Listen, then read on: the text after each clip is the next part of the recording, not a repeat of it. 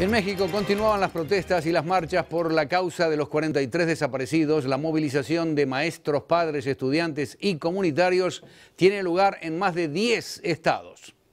¡Porque vivos se los llevaron! Los seis días de plazo que le dieron los normalistas a Enrique Peña Nieto para que renunciara se cumplieron el fin de semana. Desde entonces, los gritos para que abandone la presidencia se han multiplicado por todo México.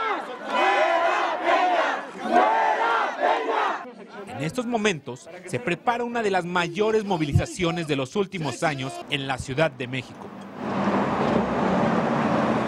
En más de 10 estados, maestros, estudiantes, organizaciones comunitarias y padres de familia están partiendo para el Zócalo de la Ciudad de México para unirse a las protestas y exigir la salida de Peña Nieto. En Oaxaca pudimos observar el traslado de cientos de manifestantes que van hacia la Ciudad de México. La renuncia inmediata de Peña Nieto y su gabinete, ya que ellos son los responsables de la situación que está viviendo el país.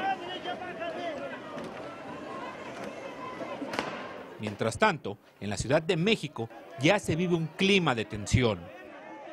Y ahorita vean cómo me dejaron. Los ganaderos han sido enviados a las calles para reprimir a los manifestantes.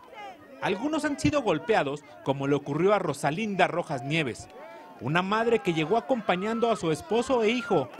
Ellos fueron arrestados y ella golpeada sin piedad.